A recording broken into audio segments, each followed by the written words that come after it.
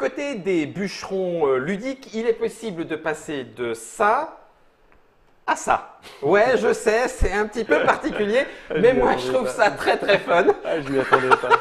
Ouais, tu peux passer de l'exploratrice à bien voir mourir un petit coup sous la faux de l'apprenti mort dans la petite mort. On va discuter avec Antoine des Lumberjacks. Salutations Antoine. Salutations. Et avec Mathilde Salutations. de Truc Truc. Euh, du coup, on est venu, on, est, on s'est dit qu'on allait jouer ensemble. tout ça. Voilà. Ça allait être bien. On va en discuter un petit peu autour des Lumberjacks pour savoir. Alors, l'actualité, on le sait, c'est l'île de Pan. Ouais. Donc, ça, c'est le jeu de la fin d'année. Voilà, c'est ça. Donc ça sort euh, le 24 octobre. Voilà. On a SN. sur la table le reste d'une partie qui a été jouée à 3 joueurs. On peut y jouer de 2 à 4 joueurs. Oui. Euh, comment, d'une part, Florian Siriex et Johan Benvenuto se sont mis à travailler sur ce projet et quand, toi, l'as-tu rencontré? Alors moi, je. Comment ils se sont mis à travailler ensemble En fait, je sais pas. D'accord. Quand Il- ils sont alors, arrivés, ils te l'ont sais, présenté à deux. se sont rencontrés sur un salon. Ouais. Ils ont deux jeux sur lesquels ils ont commencé à travailler, dont celui-ci qui s'appelait Mini Zoo à la base. D'accord. Donc c'est le jeu que moi j'ai testé. Euh, à Cannes, il y a maintenant un an et demi. D'accord Et euh, c'est Johan qui est venu me le montrer. Et finalement, j'ai rencontré Florian par la même occasion parce que Mhm. je ne les connaissais pas. Et, euh, et en fait, à l'époque, c'était on devait faire un mini zoo et on devait placer ces animaux de manière à D'accord. cumuler des points. Et on avait des plateaux de score qui étaient complètement asymétriques en fait. D'accord. Donc par exemple, avant, tu avais des carnivores, des herbivores, etc. Et tu Ah. devais placer des oiseaux dans des cages. Euh, Moi, j'ai déjà, j'aimais pas trop. Ah oui. Ensuite, après, tu as les carnivores qui mangeaient les herbivores. J'aimais- Bon, même si c'est la nature, j'étais pas fan, mais c'est les mettre dans des enclos en fait qui me gênaient. D'accord. Mais c'est plus la thématique du jeu. Mais dans l'idée, c'était super intelligent puisque euh, en fonction des herbivores et des carnivores que tu mettais, ces deux animaux multipliaient leurs points. Alors que d'autres additionnaient leurs points, etc. Ah ouais. Tu pouvais faire des combos. Mais c'était un jeu vraiment 12 ans et plus. quoi. C'était vraiment super expert. Et puis surtout que c'était super punitif. Tu ratais un tour, tu étais fini. Quoi. Baf. Alors que là, tu vois, regarde, on, on a bloqué Mathilde tout à l'heure. Elle s'est carrément repris. Elle a fait, euh, puis elle a gagné la partie. Donc, Oui, pas moi. donc là, Ah, vraiment, c'était l'idée, c'était de baisser euh, l'âge du jeu, parce que la thématique qu'on a choisie est aussi quand même pour les enfants, c'est génial quand même. Puis il y a plein de messages, et puis Camille euh, qui s'occupe des illustrations, et à fond dans le, dans, comment dire, dans la nature autant qu'on l'est. Ouais. Et donc voilà. Donc, euh, Donc, très vite, c'est assez, Oui, le jeu. Ouais. Oui, le jeu, mais pas comme ça. Mais du pas coup, au- développement. Voilà, c'est ça. D'accord. Euh, J'ai une toute petite question. Oui.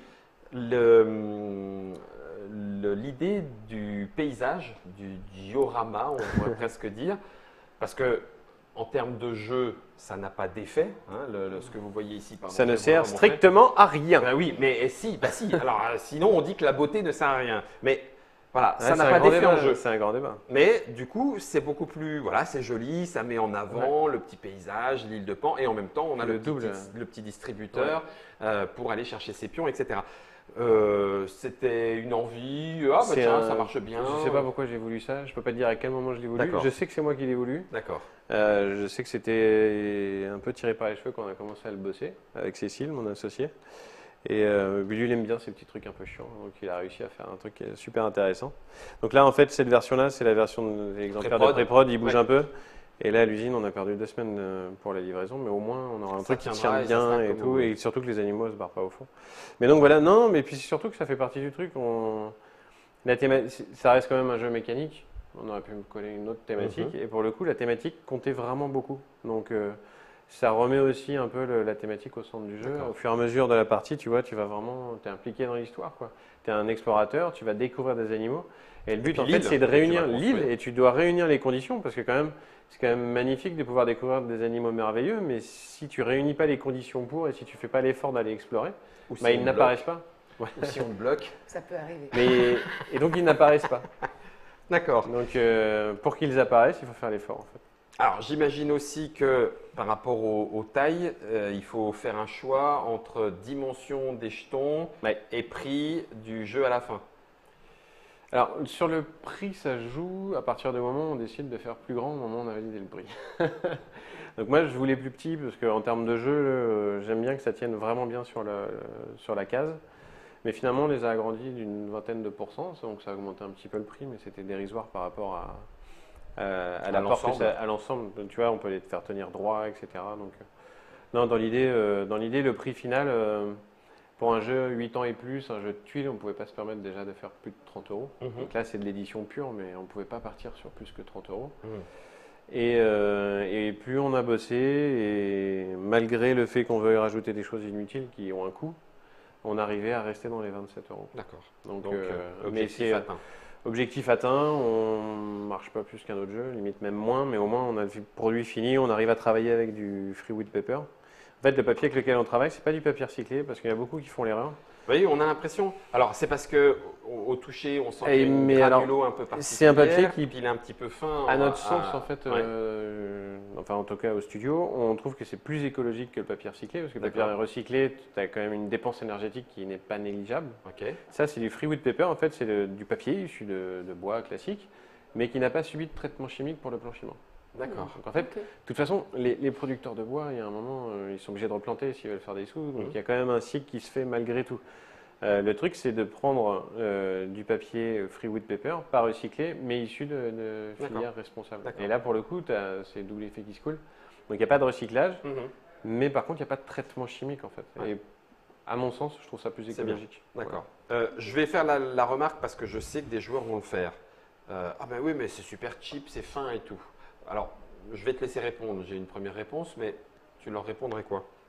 Ça, Ouais, c'est le c'est on l'élément, c'est seul truc qui reste à plat toute la partie. Voilà. Bah écoute, j'allais répondre à la même chose en disant euh, oui. Alors d'un autre côté, à part être posé, on frotte plus, pas, au, on au va toucher, pas. c'est génial. Bah, Ouais. Il ne le voit pas à la vidéo, mais le toucher, c'est super quali, Ouais, quoi, même ouais. si c'est pas c'est- Et puis, c'est bon, à moins d'avoir comme moi, chez moi, une table comme ça, euh, et, et puis ça bouge un tout petit peu, mais, mais, euh, mais l'idée, euh, non, c'est le seul truc qui bouge pas de la partie. Ouais. Donc, euh, Je résiste pas non plus. Après, je laisse Mathilde si jamais tu veux. Je ne résiste pas à l'envie de vous montrer les quatre explorateurs parce qu'alors euh, ils sont, ouais, ils sont, Vraiment je sais pas, en univers, euh, ça fait rêver. Tu te dis une petite Et bande là, c'est vraiment dessinée Camille, avec ouais. ces univers-là, euh, waouh. Ah, moi, j'ai juste choisi les gens, en fait. J'ai juste choisi les gens et les couleurs. Et Ouais. Camille m'a dit, euh, est-ce que je peux faire ce que je veux, est-ce que je peux aller explorer Je fais, mais vas-y. part- Ouais. En fait, on a eu une grande phase de recherche. C'est marrant parce qu'en fait, euh, je me souviendrai toujours, je suis allé déposer euh, ma voiture euh, chez le garagiste qui est dans mon village, enfin, tout C'est petit ça, le village de tapotage. 300 habitants. C'est génial, petite anecdote. De vas-y. 300 habitants et 358 habitants, je crois. Enfin, ou trois- enfin, bref, à trois près. Et, et donc, il y, a- des- il y a un garagiste. Il est au fond de son hangar, au fond de son jardin, mais il est là. Et en repartant, j'appelle Camille. Et tout s'est joué lors de cette. ça, je mets une demi-heure, trois quarts d'heure pour rentrer à pied. Et là, en une demi-heure, trois quarts d'heure, on avait déjà toutes les pistes qu'on souhaitait. En fait, on savait où on allait, on savait qu'on voulait faire quelque chose de différent, qu'elle voulait tester des jeux de texture, Mhm. que moi j'étais super ok pour ça. Euh, donc voilà, donc dans l'idée, euh, ouais, ça s'est joué à ce moment-là en fait. Mm. L'illustration, on a choisi de partir dans cette voie-là. Et puis euh, j'avais testé un proto de Camille qu'elle avait réalisé avec son mari, Ouais. Euh, qui s'appelait Alchivi et qui était plus ou moins dans le même esprit, alors rien à voir au niveau de la Mhm. patte graphique, etc. Mais euh, ça m'avait beaucoup marqué ce jeu-là, il était vraiment top. Finalement, ça s'était pas fait puisqu'elle avait voulu récupérer le proto et puis je sais pas si on l'aurait fait, mais quoi qu'il arrive, il n'y a jamais eu l'occasion. Mhm. Mais c'est des univers qui nous parlent en fait. Mhm. Donc voilà. Et euh, c'était l'occasion de bosser ensemble. On devait bosser ensemble sur Arboria. Oui. Ça s'est pas fait. Mhm. Et donc euh, bah, voilà. D'accord. Donc on l'a fait là-dessus. Oui. Euh, donc tu disais, que ça, pardon, j'ai oublié le terme que tu as employé pour ça. Freewood paper. Explorateur. Freeboot. Freewood paper. Freeboot Paper. Ouais. Freeboot paper. Ok, ça. marche. Freewood wood comme le bois. Ok, ah, super. Freewood. Freewood. Ah, moi c'était boot comme les Oui. chaussures euh, de la lune, les du freewood. Ça marche aussi. Freewood Paper. Freewood paper et puis même autour du, du thème, euh, tu parlais beaucoup des concepts de nature, que c'était quelque chose qui était Ouais. à la fois important pour toi, à la fois important pour, pour Camille. Euh, c'est quelque chose qui, qui, qui a beaucoup guidé le développement du jeu? Ouais. Ben, oui, oui, oui, parce qu'une fois qu'on avait le thème, ensuite, euh, euh, donc il y a un moment, le jeu avançait pas. Et Tu veux dire bloqué dans un bloqué dans un truc. développement. On avait testé un jeu qu'on adorait avec Johan et avec Florian, et en fait, on s'est pas rendu compte qu'on avait fait un jeu euh, punitif en fait. Et je l'ai fait tester à des joueurs, et dont Thibaut Quintance à ce moment-là, et qui Ouais. a dit mais tu m'as vendu un truc super simple, mais en fait voilà, j'ai fait une erreur, et puis. Et puis et puis en fait, je me dis, bah ouais, en fait, ouais. Mais en fait, il est cool comme jeu quand même. Et puis finalement, c'est repris. Ils sont venus euh, bosser au studio et on a bossé, bossé. Et on avait vraiment cette idée. On voulait des animaux merveilleux. Est-ce qu'ils étaient marins? Est-ce qu'ils n'étaient pas marins? À un moment, ils n'étaient pas marins. Les animaux merveilleux apparaissaient sur une case n'importe où, au milieu de trois types d'animaux différents. Mhm. Donc là, tu créais tes situations qui étaient possibles d'être faites partout. Tu pouvais piquer l'animal merveilleux d'un adversaire, Mhm. etc. Donc ça devenait Mhm. n'importe quoi. Enfin, Enfin, c'était ça devenait super très fort. joueur en tout cas. C'était très joueur. Ouais. Et donc on a simplifié le truc en se disant bon bah voilà cette case là m'appartient Est-ce que les autres vont venir le débloquer ou pas? Et en fait, la phase de développement, c'est vraiment faite autour des illustrations, puisqu'on très tôt on a commencé à bosser avec Mhm. Camille sur les illustrations. Souvent, on arrive assez tard sur les illustrations, et là, pour le coup, comme c'était central sur, la, sur le jeu, il fallait que tout avance en même temps. Mhm. D'accord. Euh, ça n'en fait pas pour autant, en- dans, dans ton esprit, un jeu à message. Un jeu à message politique, écologique. Enfin, je veux dire. Ma bah, euh, voilà. Non, le message écologique, euh, je ne suis, pas- je suis pas messager de ça. en fait. D'accord. Je suis pas là pour le. Je sais plus Toi, comment tu on le- appelle ça, tu- le, tu le fais, tu le portes. je sais pas, peut-être que tu as le nom. Le, le Le wash, le greenwashing. Le Ouais. greenwashing, je suis pas pour ça en fait. Je le fais, moi, à titre personnel. Je le fais aussi à titre professionnel sur certains trucs. Mhm. Là, je voulais juste remettre, parce que j'ai encore lu là, une, euh, une review de la Cour des miracles qui disait qu'il y avait le livre de règles en papier recyclé. Donc, je- en venant ici, je savais qu'il fallait que je le dise euh, Non, pas au papier recyclé. C'est pas du papier recyclé. Mais dans l'idée, c'est pareil, il y a d'autres actions qu'on mène et j'en fais pas l'étalage non Hmm. plus. Le- le- en fait, il y a une commission qui va se créer au niveau de l'UH, tu sais, l'Union des éditeurs de jeux que tu Ouais. connais bien. Ouais. Et, une- et- et en fait, l'idée, c'est si on est peu à faire un choix pour X boîtes, c'est quand même vachement plus efficace que qu'on soit tous nous en tant que consommateurs, qu'on doive faire des choix, qu'est-ce qu'on achète Mhm. Si on fait les choix au départ, En amont. en amont, sans en faire la pub, parce qu'on n'est pas là pour faire la pub, on est là pour faire des jeux. Quoi. Enfin, tu vois ce que je veux dire? Et si on fait des choix intelligents dès le départ et qu'on se met en concertation, qu'on assemble nos forces pour se dire bah, peut-être que ce serait mieux qu'on fasse ça, ça coûte pas plus cher. Là, tu vois, le papier pour les prochains jeux qu'on fait l'année prochaine, on prend du papier FSC. On ne peut pas avoir la certification Du papier FSC. FSC, en fait, c'est le FSC, papier. pardon, euh, J'ai plus le. Euh, Du Family Consortium Activity. je sais plus. Enfin voilà, c'est du papier issu de filières euh, responsables, euh, etc. Mm.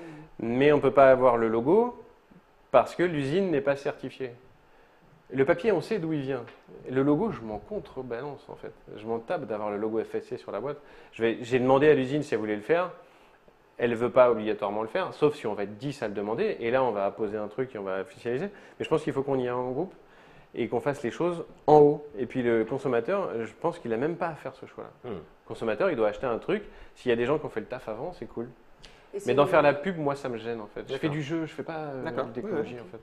Donc c'est pas spécialement une demande de Non. la part du consommateur, Ah euh, c'est juste à titre. euh, Ah bah si, il y a, Il y en de a. plus en plus, il y a la demande. en plus. de Voilà. ça, En mais, de ouais. euh, l'origine du.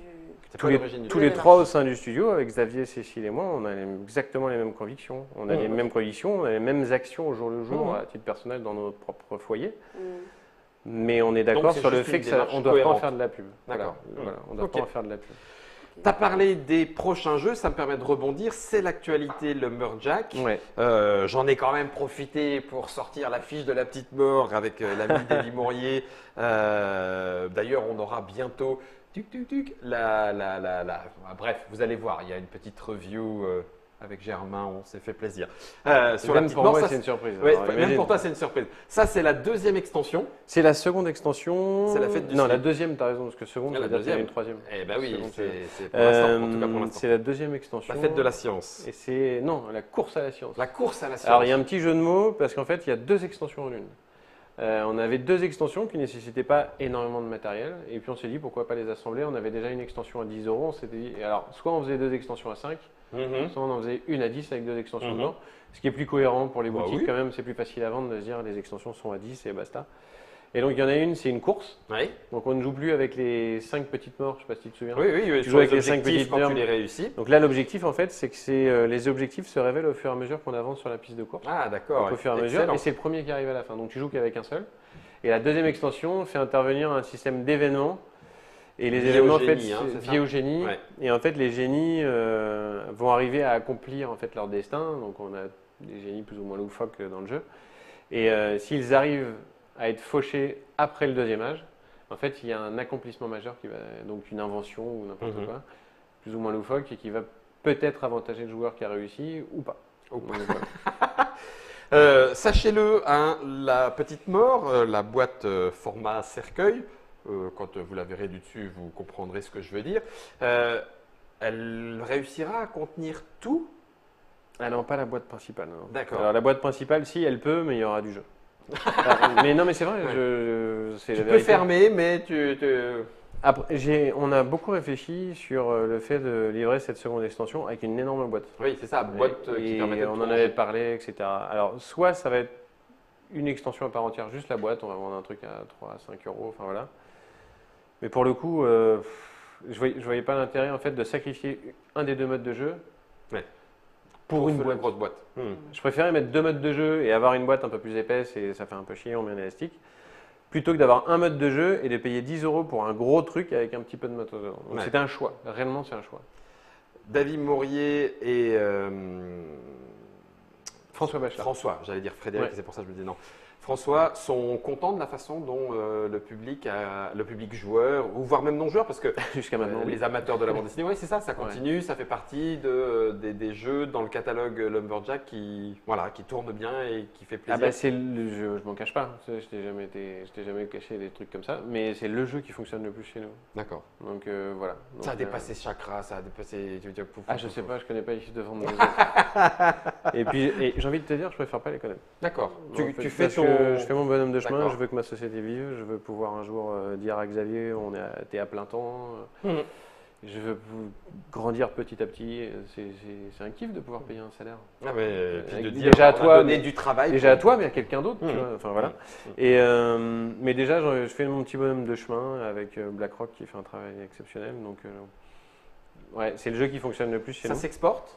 Parce que est-ce fait- l'univers de la BD est connu Alors l'univers de la BD, je crois qu'il y a un voire deux pays D'accord. Tu vois, euh, euh, la petite mort, c'est très mal exporté euh, à l'étranger, alors que tu vois, euh, la BD de Davy, Super Caca, c'est exporté. Non, mais ça paraît con, mais elle, c'est exporté Super à fond. Ouais. Il y a vraiment des trucs, des fois. Alors On là, c'est vraiment de l'humour noir. Et quand tu quand attaques sur l'humour noir, déjà, les États-Unis, tu mets de côté, machin, tu mets de Mhm. côté. Et, et, l'humour ouvert en France, ça marche euh, très bien. Pour le coup. Donc là, SN, dernière salle, on essaye, on réessaye. On avait fait ça l'année dernière un petit peu. Et, euh, et là, cette année, euh, je prends Dernier un stand essai. à SN que pour ça. On fait ça bien. C'est même pas le dernier essai, c'est le premier vrai essai. Ah, d'accord. Donc euh, l'année dernière, on avait un petit peu découvert comment ça se passait. Ok. Mais on va essayer de l'exporter, ouais, carrément. David revient à Essen ou? David revient peut-être à Cannes. Ah, peut-être. Mais à euh. Essen, non, il viendra pas. François sera là. à Ok. Et François sera là à Cannes, bien sûr, je pense. Donc, voilà. Du coup, après l'extension de la petite mort qui, sort fin novembre. novembre, donc Fin on est novembre, toujours ouais. dans En cette même temps année. que le tome 4. D'accord. Et dans le, dans le tome 4, il va y avoir un diplôme avec un mode de jeu encore différent. Ah, excellent. Encore, euh, ça va encore apporter un petit mode de jeu avec. euh, L'idée en fait, c'est qu'on a une base qui est géniale. On peut y apporter ce qu'on veut, on garde la même mécanique, Un peu bac à sable, enfin bac à mais on change complètement les conditions de victoire en gardant le même jeu. Mhm. Et ça, c'est génial en fait. Euh, on- et on s'en rend vraiment compte au fur et à mesure. Mhm. Je pense que François en avait conscience, mais euh, moi, je m'en rends vraiment compte au fur et à mesure. De- il, il imagine un truc et puis, bah oui, ça marche. Oui, ça marche. Et, puis ça nécessite un diplôme sur une feuille. Et, et trois paragraphes de règles derrière. quoi. et tu as le même jeu, tu as des sensations complètement différentes. Et c'est ça qui est assez. Euh... J'en avais pas conscience au moment où on a créé le jeu de base. Vraiment. Et je, me, je le découvre au fur et à mesure. Et donc, ça, c'est pour la BD. Et l'année prochaine, en fait, on lance une gamme. Donc, une gamme de jeux à 15 euros. D'accord. Et la gamme qui va. Fait pas le mec surpris. Non, courant. Si, bah attends, c'est mon boulot. fais- Laisse-moi le petit acteur Ah bon? Mais comment? Vous avez. je dis qu'à son truc. très bien fait. Non, une gamme, qui, la gamme va s'appeler Coffee Break. Donc en fait, c'est euh, clairement, on voulait. euh, la gamme, elle est passée par plein de phases. On voulait faire ça dans des canettes au début, parce que ça nous marré, mais on s'est dit que ça faisait trop canette et euh, on pouvait peut-être décentrer le, jeu- le jeu- le- le vrai sujet qui était le jeu. On voulait, ensuite, on a voulu faire des cassettes VHS. Donc ça, c'était vraiment rigolo, je t'en avais parlé, Mm. je me souviens, enfin bon, voilà. Mais tu as été un de ceux qui a alerté en disant Ouais, mais après, ça fait trop cassette, est-ce qu'on va vraiment voir des jeux dedans? Finalement, on est revenu sur un boitage classique, euh, mais une gamme qu'on a appelée Coffee Break, déjà parce que c'est international, mais aussi parce qu'on voulait des jeux euh, montrer dans le nom de la gamme que c'était des jeux à 30 minutes, tu vois, pause café de 30 minutes, tac, on se prend- et puis on joue, quoi. On pouvait pas parler de bière, alors on a pris du café. mais, Beer euh, break. Happy time. mais dans, dans l'idée, voilà, c'est le jeu à 15 euros qu'on peut emporter, donc il y a, mais qui est un peu plus grand qu'un jeu classique. Ça va être dans la taille d'un Dany, par exemple. Dany, toute cette gamme-là. Car- euh, Carré, rectangle? Carré. Carré, oui, Alors, euh, c'est pas du carton comme les boîtes classiques, ça va être du carton épais. Euh, pas de cellophane. Donc l'idée, c'est qu'on va avoir un, un clapet ouvert, c'est con parce que je la reçois lundi, le- je vais Ouais. faire des samples. Euh, magnétique? Magnétique ouvert et, euh, on va euh, encore une fois, on va mettre l'illustration au premier plan sur la boîte, euh, comme on le fait, mais quand même avec l'idée que c'est quand même un jeu à vendre. euh, Oui, comment oui. dire euh, C'est un jeu à 15 euros. Mhm. Donc il faut quand même l'explication sur le truc. Et donc en fait, on double la surface en ouvrant. Et les jeux, en fait, euh, le premier, c'est Gold River. C'est un remake de La fièvre de l'or, qui est sorti en 2004, de Des- Bruno de. Bruno des Montagnes et Bruno des Plaines. Et voilà, c'est ça. Enfin, Catala, monsieur. Et Bruno Catala- Feduti. Et Feduti, monsieur. Donc illustrateur Jonathan Auconte. Ouais. Euh, le second va arriver un mois plus tard, effet de gamme. Enfin, voilà. Mhm. Donc le premier arrive en janvier, le second arrive pour euh, Cannes, avec euh, une petite découverte des boutiques, etc. Et c'est Monster Café. Monster Café. Monster Café de Théo Rivière et Romain Catergian. Ah oui Non, On en a parlé puisque en, en- vidéo, en vidéo Trick Track euh, à Cannes l'année dernière, euh, c'était ce que vous étiez en train de travailler, jouer. On euh, était en train de le travailler, Ouais. ils ont fait un travail génial, et illustré par Greg Baldwin. Alors ceux qui connaissent, c'est un des deux illustrateurs de Creature Box. C'est des mecs que je suis depuis des années, et je voulais absolument travailler avec lui, et il Et a accepté. C'est le seul jeu qu'il a fait. D'accord. Donc c'est génial et c'est des monstres. Vous pouvez aller voir sur la page Facebook, Facebook des Lumberjacks, j'ai lâché quelques visuels déjà. Euh, et le jeu qui arrive après, alors c'est un groupement de quatre auteurs et j'ai pas les noms de famille à fond, donc c'est Ludovic, euh, Romaric, Galonnier, ça je me souviens.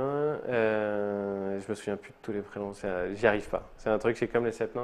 mais- les sept nains, j'en ai que trois. Ai- les sept nains, j'en ai que trois, il m'en manque toujours quatre. Alors, leur Euh, prof, Cécile, joyeux, Cécile Ludovic, Romaric et je sais plus, je vais y arriver, je crois que c'est Julie euh, Dutoit, je crois que c'est ça. Enfin voilà, et, euh, et illustré par Jonathan Comte aussi. D'accord. Et il y en aura un quatrième à la toute fin d'année, qui est un jeu, on n'a toujours pas le nom, euh, avec Bruno Catala et Théo Rivière. D'accord. Eh ben, donc oui, ça va faire une gamme assez Et rapidement. une gamme assez rapidement, sur l'année on fait quatre jeux, c'est la première fois. Et puis on va étaler ça sur l'année, c'est des petits jeux, mais des, des jeux vraiment 8 Souvent les petits jeux, ça va être 6, 8 ça va Mhm. être plutôt orienté euh, très familial. Là c'est familial, mais avec le truc en plus qui fait que vraiment entre adultes on passe vraiment. Et c'est pour ça la pause café, Mhm. c'est pas pour les enfants non plus les cafés, tu vois, mais on peut quand même y jouer avec eux, mais ils peuvent pas y jouer tout seuls. Tu Mhm. vois, le truc c'est vraiment l'entre-deux, c'est vraiment du jeu familial. Mais euh, nous, on s'éclate, on joue avec des enfants de 7-8 ans, tu vois. Mais, ça euh, mais parce qu'au début, les 3-4 premières parties, tu es obligé de driver. Quoi. Oui, voilà. d'accord. Alors que là, tu vois, de- tu fais une partie avec les enfants de 8 ans, ils se refont une partie tout seuls. Ils peuvent rejouer derrière. Ils peuvent rejouer tout Oui. seuls et tout. Tu vois, la transition, elle est là. Oui. C'est qu'on voulait vraiment. Les, tu vois, il y a beaucoup de petits jeux qui arrivent quand tu les testes, les protos. Sur les salons, tu testes les, les protos et puis tu- maintenant, c'est un peu complexe. Quoi. Mhm. Ton jeu, tu le vends 10 euros, mais d'un autre côté, euh, qui peut y jouer quoi Mhm. C'est dommage de ne pas pouvoir donner sa chance à ces jeux-là, en fait. Euh, leur chance à ces, ces jeux-là. Qu'est-ce que vous allez faire que c'est l'idée, c'est l'idée derrière euh, le projet, c'est ça. Eh ben voilà, c'est ce qu'on appelle un tour d'horizon. Est-ce que ça te va, Mathilde, en tour d'horizon? Ça me, ça me convient parfaitement. On se donne rendez-vous à Cannes, puisqu'a priori, les Vichy pro- ben, il y aura... Oui, mais Vichy, tu n'auras pas les coffee break. Si.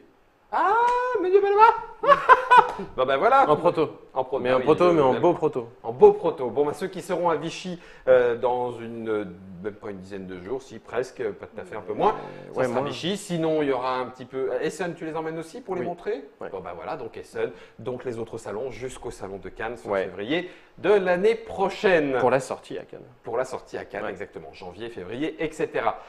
La majeure information, pas, pas parce qu'elle a plus de 18 ans, c'est la sortie récente, euh, enfin à venir en fonction du moment où vous regardez cette vidéo Ouais. de l'île de Pan. Attention, hein, ici je n'ai pas le visuel euh, cellophané, on va dire entre guillemets. C'est ça. Hein, il est, voilà, merci beaucoup Mathilde, c'est celui que vous voyez à l'écran. Le jeu de Johan, Johan Benvenuto et Florian Sirex, illustré par Camille Chaussy.